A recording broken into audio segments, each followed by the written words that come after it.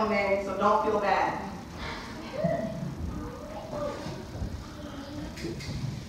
This is gonna sound really embarrassing, but I actually can't remember any of my lines. You all are probably really hoping this is part of my act, which it is. Ladies and gentlemen, well, mm, scratch that. Some of you aren't really gentlemen. No offense. I did see you slam the door on a lady, so let me rephrase that. Ladies and males. Mm, it's still not working. Ladies and male homo sapiens. so, you all may not know this, but I did have you agree that if you die tonight from laughing so hard that you can't sue me. And uh, if you're wondering, yes, it was in the iTunes terms and conditions. so anyway, now I have to start like talking about funny stuff to you guys. So I mean, I guess I'll start with my dad because he's a source of a lot of comedy, not always the good kind. So my dad's from Morocco, and uh, one of my favorite stories he, he's told me about Morocco is so there's two guys. Okay, this is a true story. Two guys sitting at a cafe. Okay, one gets a phone call, so he steps out near the street. He's talking to the guy. Mm-hmm. Mm-hmm. Yeah. Oh, really cool. If you don't know what that is, someone on a motorcycle driving down the street and snatching his phone mid-conversation. so, I mean, imagine if you're in this guy's position. You're just, so he goes, he, he panics, he goes to his friend. Can I borrow your phone? Someone just stole mine. Uh, sure, man, here. Okay, and he calls his own phone, and the thief picks up, right? He's, he's talking to the guy who just stole his phone. Hey man, I have all my photos and, and important emails and all my important uh, th things on that phone, and it's, it's, it's so it's so valuable to me. Uh, can you please just give me my give me my phone back? I'll even pay you the money the phone is worth. Please. He's like, you want? Sure. Okay. Let's meet up. Where are you? Uh, I'm in the same place. Really? Okay. The same place? Yeah, I'm exactly the same. you think that's bad? Imagine the conversation between him and his friend when he goes back to his friend. Hey, did you get your phone back? uh, can I have my phone back?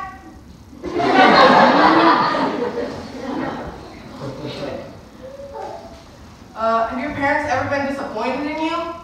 No, just me? Okay. um, so the amazing thing about my dad is he can show his disappointment for me without even saying words. Is that crazy? Okay? Just one little and instant feel of disappointment. So, I mean, my dad's from Morocco, and the cool thing about Morocco is uh, they have lots of camels there. Okay? And fun fact, camels can well, that's why I'm here. Things you really need for survival, which is food, shelter, water, fire. You may be wondering, how are you get how are you gonna get those four out of a camel? Well, that's why I'm here, people. So, obviously, camel meat may not be the tastiest, but in a survival situation, it will work. Second, fire. Camel's fur is surprisingly good for starting fires. Now, my two favorite, food and water. I mean, not food and water, shelter and water. Now, for the water, camels have multiple stomachs, right? So, it's gonna get a little graphic here, people. the camel stomach, open it up, survival situation, people, no judgment. You get? Now, all the vegetation the camel's been eating, you can take out of their stomach and uh, good hydration, people, okay? Now, the shelter part is where it gets a little complicated. So, you're out in the desert, the sun's going down, it gets cold in the desert at night, surprisingly, and, and you're getting cold and you need shelter. Oh, what a coincidence, there's a camel carcass here. Let me just crawl in that. And my dad will just come in. Son, what are you doing? Uh, I'm using the camel's carcass as, as shelter.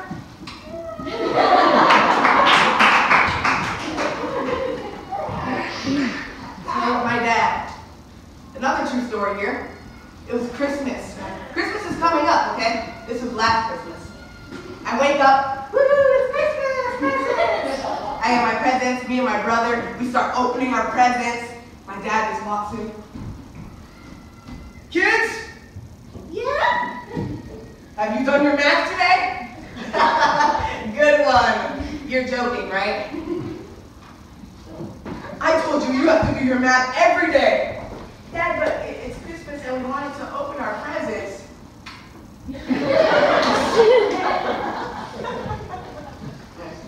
uh, I'm like the Hulk in some ways.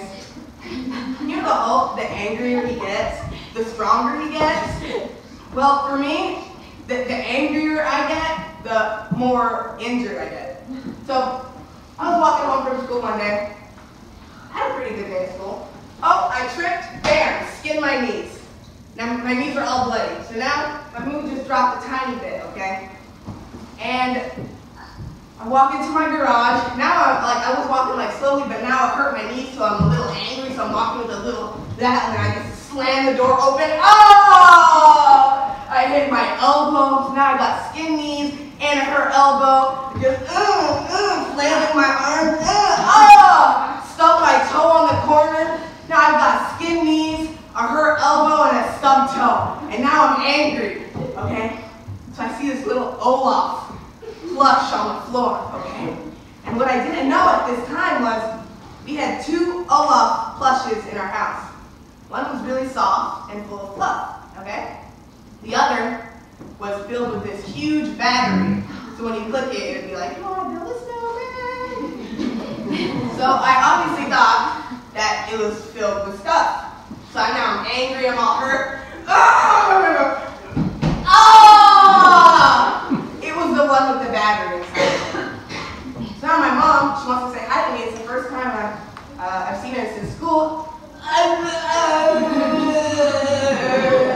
Son, are you okay? I was still. Hey, what's wrong? Son, what's wrong?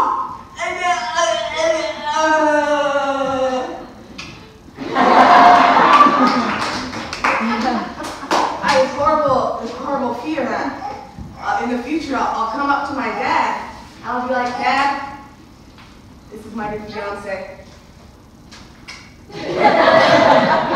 I really hate it that happens. now, you know what else I hate is, is when people use phrases in the not correct way to use the phrases. Okay? So, for example, when people say, I could care less, okay? People, the correct way to say it is I couldn't care less, implying that you couldn't care less. Like, that's the most I could not care about something. Okay? But people say I could care less. So, hey John, you want to go to my birthday party? I could care less. You're saying you could care less, which means you care about it. I hate that. You know, other little phrase, it's not like incorrectly used. I just find it weird. Like, global warming is real. I beg to differ. Why do you have to beg? Why? Why can't you just ask to differ? It's my right to differ. I don't have to beg him. I beg you, please let me differ. Please. It should be I ask to differ or I differ. Why do you have to beg? Another one. The sky is the limit, okay? I'm pretty sure you've all heard that saying before. Now it's supposed to be like a motivational saying, like, you do you can do anything, the sky's the limit. It's really not that motivational. because we've made it as humans past the sky. You're limiting us to the sky. We've made it to the we made it to the moon and space. Like that's putting a limit around what we can do, and a small limit that we've already passed as humans, okay? The sky's the limit. It should really be like, you'll never accomplish anything. The sky's the limit. what else I really hate? What's going on hate, man? So you ever walked into like a store that's decently cheap and you walk in and you see the sink, right? You want to wash your hands. But it's the kind of sink where you have to push down for water to come out, right? and the second you lift your hand, the water stops coming out, okay? So then, you're not even washing your hands at this point. You're just rinsing them one at a time. Oh, then you already put soap on, and so now the handle is all soapy. Just mm, rinse. Oh, now this hand's soapy. So then literally, how am I gonna get the soap off? then I, me, the creative person I am, I just try to like with my nose.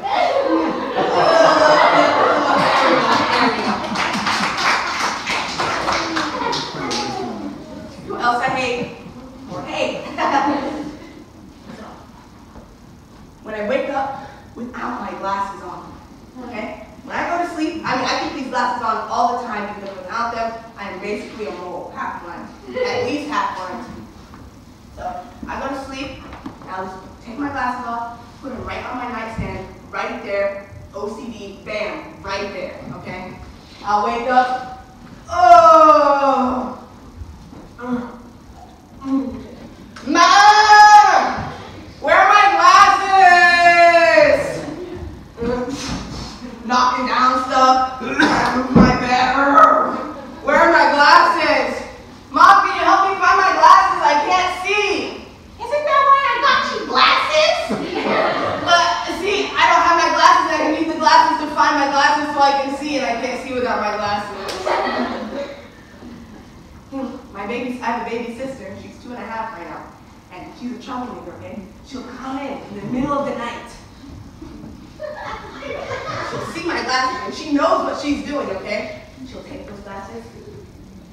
She'll hide them under her couch. She'll just hide them under there. I hate that. But that, that day I was talking about the glasses weren't under the couch. Layla didn't touch them. They were on my nightstand. anyway, a lot of hate. I mean, I mean that could that could say I mean I'm kind of a pessimist. Uh, I mean I'm really pessimistic. Okay, you know the saying like glass half full, half empty, right? I would definitely be half empty. That's easy. But if you bring me a glass three fourths full, I'll just see one fourth empty. That's how pessimistic I am. You know, there is no silver lining, people. Get into reality, okay? Especially on my birthday. Happy birthday to you. Yay, I get to celebrate one year closer to dying. you know the phrase life gives you lemons? Life isn't going to give you lemons, guys. It's not, okay? You're not just gonna wake up one day. Mm, oh, a bag of lemons. Thank you, life. I'll make some lemonade. Thank you. So pessimistic. I doctor. They had to do a blood test on me to like find my blood type. Even my blood type said something like my blood type wanted me to be negative or something. anyway, if you hear in the audience, that will be my dad. Thank you, everybody.